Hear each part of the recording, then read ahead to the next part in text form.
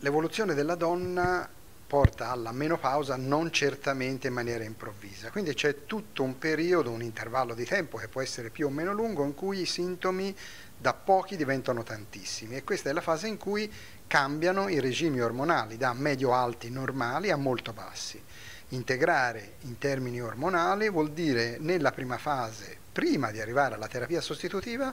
di aggiungere, modulare, ciò che manca dei mondi ormonali, o con un po' di progesterone o progestinici nella fase giusta, o semplicemente abbinare quando questi ormai non sono più sufficienti per regolare la ciclicità mestruale, aggiungere a questi un po' di estrogeni, estrogeni naturali, estrogeni coniugati, in maniera utile e necessaria per mantenere la ciclicità mestruale se la donna lo desidera, ma più che altro per evitare, ridurre, minimizzare, se possibile, tutta la sintomatologia che è il corollario dell'evoluzione verso la menopausa, che chiaramente è ciò che la donna deve e fondamentalmente non dovrebbe mai provare.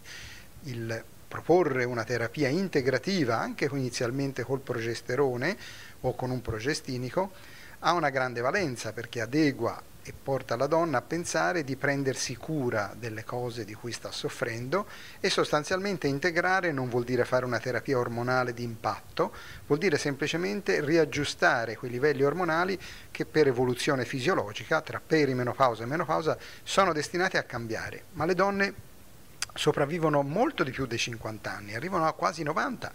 Quindi dobbiamo organizzare la donna in maniera tale che possa farsi una sua terapia prima integrativa con aggiungere ciò che viene meno, come il progesterone, con una poi che evolverà da integrativa a prettamente sostitutiva. L'importante è preservare la vitalità, l'efficienza, la cultura, la funzionalità centrale della donna, che è il cervello e tutti i suoi disagi, perché da lì molto poi dipende il prendersi cura e gestire le sintomatologie che la menopausa porterebbe, che sono il disturbo cardiovascolare, l'osteoporosi, il tono dell'umore, l'insonnia, l'affettività, la sessualità. È fondamentale prendersi cura noi delle donne e che le donne sappiano prendersi cura di se stesse.